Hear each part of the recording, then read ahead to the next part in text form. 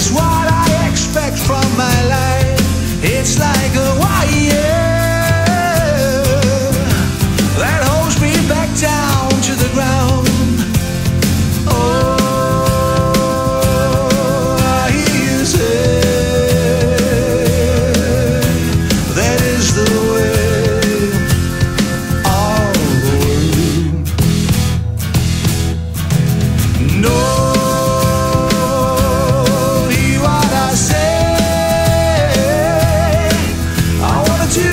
rainbow